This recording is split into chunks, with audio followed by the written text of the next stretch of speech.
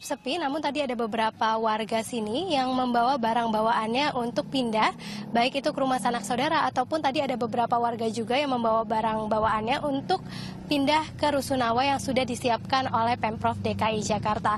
Dan beberapa bangunan di sini juga sudah terlihat kosong dan dirubuhkan oleh pemiliknya.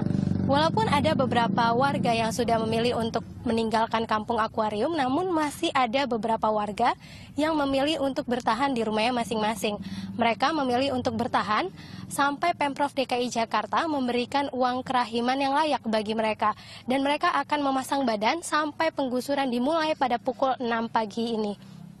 Uh, selain itu, dari 393 kepala keluarga yang ada di kampung akuarium ini, ada sekitar 300 kepala keluarga yang sudah direlokasi ke beberapa rusunawa.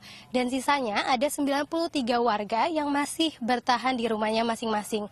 Kebanyakan uh, mereka warga yang memilih bertahan ini dari RT 1 dan juga RT 12. Sedangkan dari RT 2 dan juga RT 11 ini hampir seluruhnya sudah direlokasi ke beberapa rusunawa.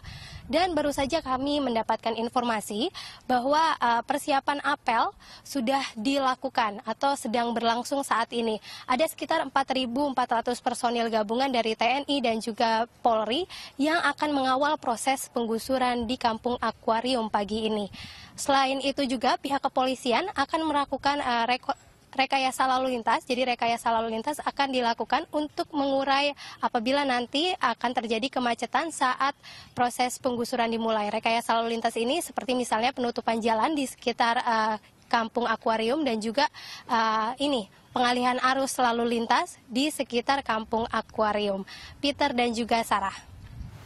Tiffany Alhamid dari Penjaringan Jakarta Utara dan memang ini